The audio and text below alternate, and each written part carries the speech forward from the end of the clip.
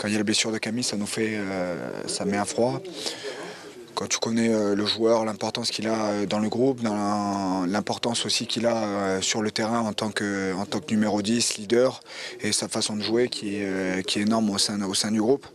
Donc ça a été dur de s'organiser, de, de, pallier au manque, au manque de Camille sur, sur le terrain.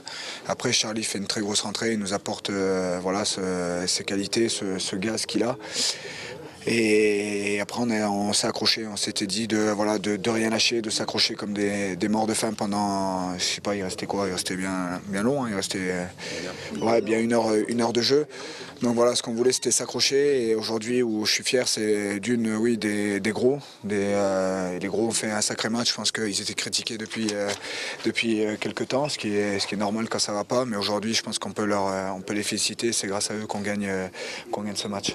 On savait qu'ils allaient arriver ici vraiment en focus dans le combat et qu'ils allaient nous, essayer de nous fracasser dans, les, dans leurs attitudes de contact et tout, etc. Donc, on était préparé à ça et nous aussi on essaye de se retrouver là-dedans. Euh, donc euh, c'était deux équipes qui, qui, avaient, qui avaient fin de combat. We're disappointed with the result today, but um, there's certain aspects of our performance today which were good.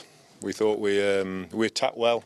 We certainly need to um, learn to take our chances when we get into the opposition 22. Tout le monde s'est envoyé et a rien lâché euh, jusqu'à la dernière minute. Donc euh, ça c'est plutôt bon. Euh, c'est 5 points de prix.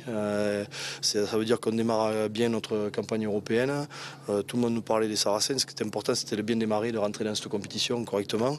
Maintenant on pourra se projeter sur le mois de décembre et, voir ce qu'il ce y aura à faire et il faudra faire forcément.